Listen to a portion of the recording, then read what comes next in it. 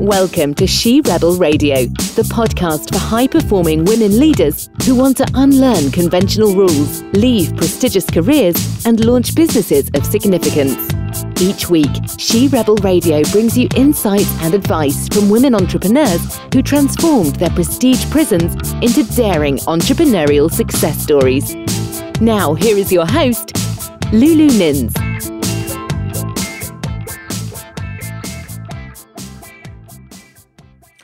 Welcome to episode 21 of She Rebel Radio. Start 2020 with intention and end 2019 with gratitude. Welcome, welcome. It is Friday the 13th. We are post elections here in the UK. And if you're anything like me, I had an intention of more meditation and less elections this week to preserve my energy.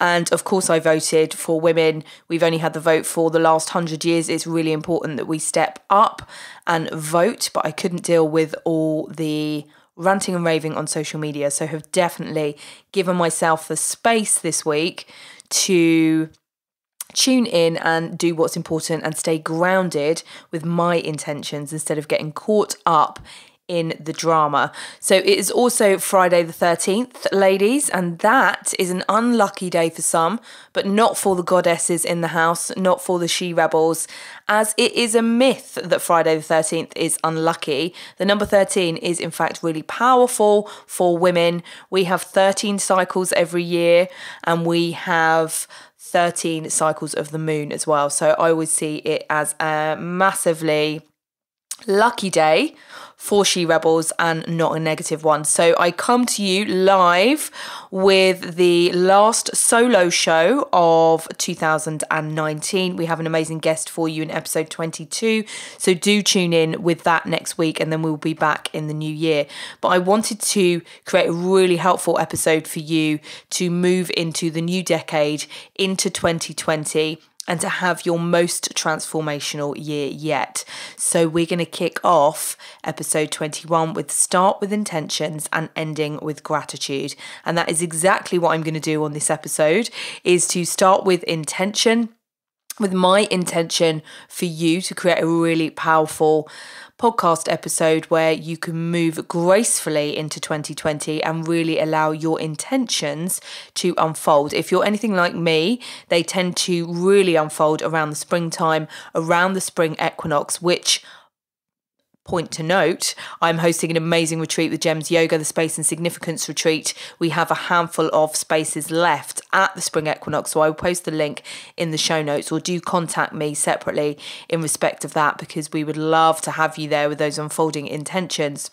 So, we're going to talk about what intentions are why they are so important, why they are actually also very feminine in nature.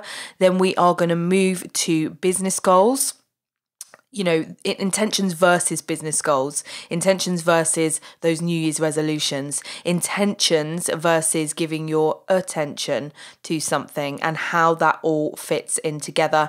And then we're going to close this episode with some gratitude and why that is also important for you to connect back with those important intentions. So, really importantly, I reason why I actually said to a client on a call, start with intentions, end with gratitude. And then I said, I was going to say hashtag then, I'm far too old for that, but I was going to say, um, then I was like, I need to do a podcast episode on this. And I remembered in my members group, the Rebel Heart Club Mastermind, that my clients from last year, it was only around this time last year, we were in Goa setting really powerful intentions. I was working with my clients on setting really powerful intentions for the year ahead on a beach in Goa at the amazing Ashiyana Yoga Retreat. And my clients, was sharing in the members group only a few months ago how much has changed for them, how much has shifted. They were found their Goa notebooks, um, some beautiful notebooks that I bought for them specifically to keep that those intentions in a separate place so they could go back and revisit that. And they were sharing comments of so much has shifted. I'm a different person. My business vision is so different.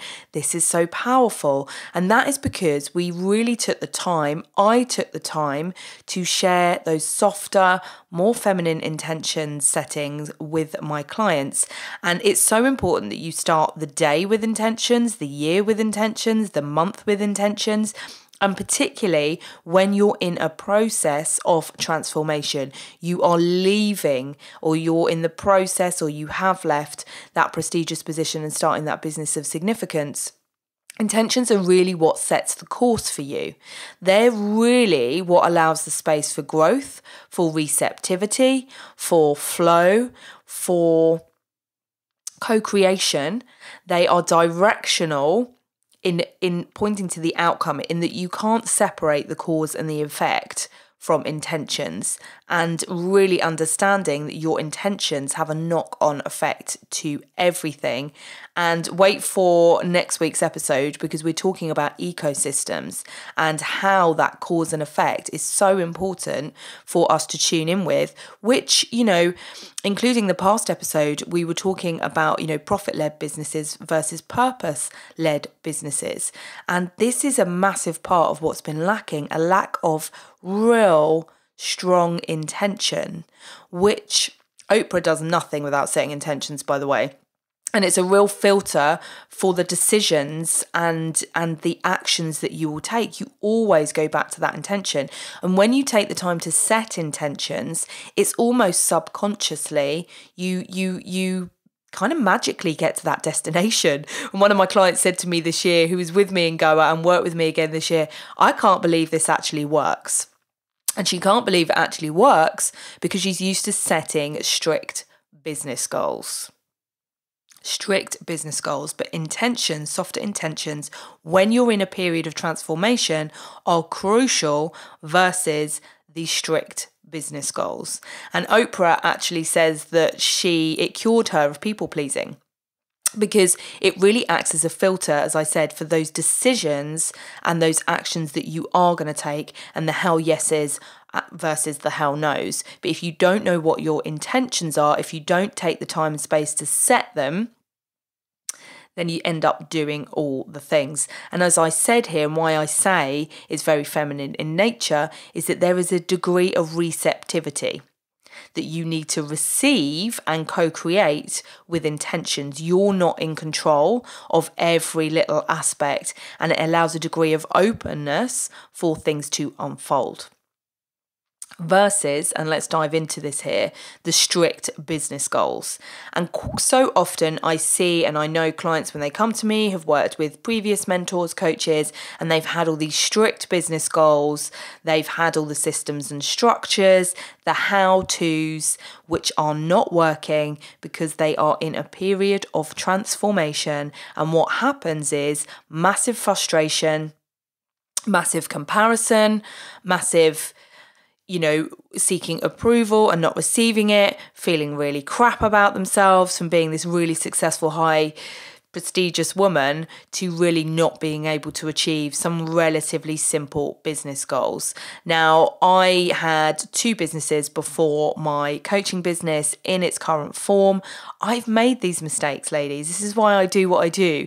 This is why I help women who are really used to having that degree of control, that level of achievement, that rigid, measurable sales goals. Um, what did we used to call it? God, it's been so long now. I left the legal profession five years, but our, you know, fee earning targets which I never used to actually check in all honesty, but I was always way above it because I really focused on my intention of serving the clients to the highest degree. But I had a lot of masculine energy as well. So, those, you know, rigid business goals, it's not that they don't have their space in your business, they absolutely do, but they require effort over ease and they are very masculine in nature and they require a lot of the how to's, which when you're in transformation, you may not know. You may have started with the wrong business. Where you start is likely not where you end up. So those softer intentions really allow that space for transformation. When you set strict business goals, what happens is you block the flow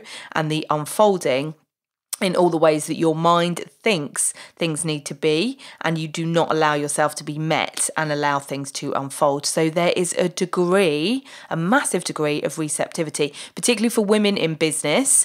That's what this podcast is all about because we are creating and stepping into creating things that don't even exist yet. And there is a degree of surrender and receptivity that you really need to be able to create to really step into your authentic power, as it were. We also know about resolutions. January is coming. The yoga studios fill back up. I get ratty about it um, because I will start a new habit at the end of the year, usually October, November, rather than in January, because I'm not a huge fan. I'm not a huge fan of January and February, so I definitely don't want to be forcing myself to create new habits. My energy tends to be a little bit lower. I'm definitely a spring, summer, and even autumn, but winter I really do need a degree of hibernation. And those resolutions take determination, um, a degree of resolve, purpose, which is all great. My level of determination is not as high in January, February. I've learned that moving into year six of my business. And resolutions also really are clouded in a degree of lack things that you must not do, things that you need to stop doing. You need to stop doing the job, you need to leave, you need to stop drinking wine, you need to stop eating chocolate. And what often we do is we don't concentrate on the positive thing that you are going to replace it with. So resolutions are clouded in lack, not good when you are creating a new arena for yourself and a business of significance. So my advice would be stay away from the resolutions full stop set intentions and you can have the business goals underneath that. A degree you know what would be the business goal that would attach to the intention that would be measurable that you know that you've got there but really be unattached to the outcome when you're in that period of transformation. Then you need to give that thing your attention with an A, attention with an A, and attention energizes something. And we are very good coming from corporate, giving our attention to all the things, all the things that need to get done. And we can make our, you know, business goals and things about a to do list instead of who it is that you're wanting to be and stepping into being. It's about all the things that you are doing and giving your attention to. And we are human beings, not human doings. And actually, computers and technology is taking over a lot of the doing. So it's really important and more important that you start stepping into the being. It's not that you don't need attention. You need to put attention on your intentions, but it becomes easier the stronger those intentions are. And it's Deepak Chopra who says intention transforms, attention energizes. And what he means by that is whether you're giving something your attention, whether it's negative attention you're giving it or positive attention, you spotlight it, particularly if it's negative attention. You can't create the clients, the thing's not happening. You spotlight the problem, which means you energizes it and you energize it and the problem gets bigger and bigger. Whereas when you give something positive, attention, you become more, more solution based and solution focused. So it definitely needs your attention and the focus, etc. But it's not about just giving various things. If you give various things your attention without intention, nothing changes, nothing transforms. You tend to hit your default button every step of the way. So, a great way to think of intentions is almost like your why behind what it is that you're doing. And as I said at the beginning of this podcast, then it acts as a real filter for the decisions and actions or non actions that you are going to take. So, some journaling prompts for you to really have a play around with over the Christmas period, over January. I'm going to give you three prompts to really start to move into what softer intentions look like. So, number one is to establish myself as. So, number one is to establish myself as and just see what comes out, just journal. Because again, intentions really have to be from a deep heart space, from an embodied space, not from your head and what you think it is that you should be doing. So, to establish myself as what really lights you up and excites you. Number two is to be open to. So, in 2020, what are you going to be open to? And number three, to make changes to. So, to establish myself as, to be open to, to make changes because this is all about the period of transformation and just have a play around with what comes up for you. As promised with this episode, which is named Start with Intentions and End with Gratitude, I want to end this episode by telling you why gratitude is so important. And I quite often joke that I kind of poo pooed it when I first broke out into my first business because I was like, of course, I'm grateful for things. I didn't really see how it would change that much for me. But it is so important because, as I said, it actually spotlight, spotlights you in the positive instead of the negative. As a defense lawyer, I was trained to look for the worst case scenario in so many things and not good at being present because as a lawyer you are you know looking at what your client's done in the past, trying to predict the future, and, you know, really spotlighting in the problems because you're there to solve problems. So I really got into the habit of gratitude. There is you know, express that gratitude first thing in the morning, which is really powerful for me. It's always been more powerful in the evenings. I'm much better at really getting on with my intentions for the day in the morning. And then in the evenings, really focusing on the gratitude. Just three things that you are grateful for that day and writing it down. It's important for so many reasons. Firstly, as I said that, versus spotlighting on the problem. If something negative in inverted commas has happened that day, or something that's annoyed me, or the business hasn't quite gone as I wanted, or on a personal level, I can focus on that one thing. That is the art of spotlighting. It magnifies and grows because I'm giving it all that negative attention. So when I do gratitude, it really tunes me back. And with all the amazing things that have happened that day, when I just write down three, I end up writing down 10. And why that ties into your intentions is that gets you back into alignment and flow for your intentions and that co creation and that receptivity, which you can be blocking if you are spotlighting and focusing on negative things. And when we think about the calendar year, you know, we start January with resolutions. I'm asking you to replace those with intentions. And certainly in America and Canada, they end it with Thanksgiving. We don't do that here in the UK. It would probably be a good thing if maybe we did. I certainly use the end of the year as a massive period of reflection in reflecting on what my intentions were at the beginning of the year, what has worked, what hasn't worked. And I can tell you now, when things haven't worked, is because I haven't been in full alignment with those intentions or the way that I have written it or, you know, kind of tuned in with it. I've been blocking something. I realize actually I've been too rigid in how I have worded that. So, intentions, you can really go deeper and deeper with them. And gratitude is key to finding yourself in alignment with them and tuning in with them from a real embodied and heart space and feminine space. So, I wanted to end this episode with a little bit of gratitude for all of the downloads we've had of the She Rebel Radio podcast. It's been, you know, something really tied into my intentions at the beginning of 2019 to establish myself as, and it really acted as a filter for the decision to really get this out there. And I was going to do that at the beginning of 2019. It didn't kind of work out. And then I just found myself in the right place at the right time with the right people to get me out there and doing it. And it helped me really make risky decisions within my business that I do year on and year out. If it ties into my intentions, I know that it's the right decision for me. And then the flow will come from there, the growth will come from there. And I need to be receptive to the people, the places, the things that are going to come in to help me move forward.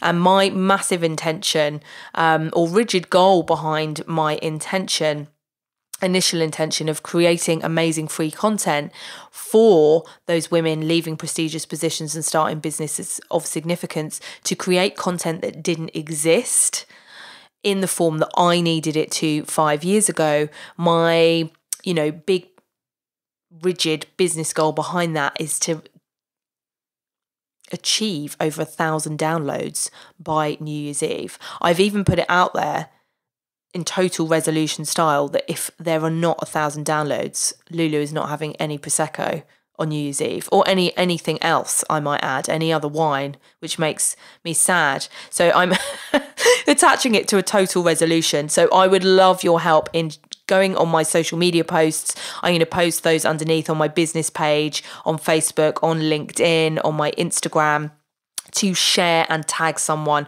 who you would you you know would love She Rebel Radio as much as you do.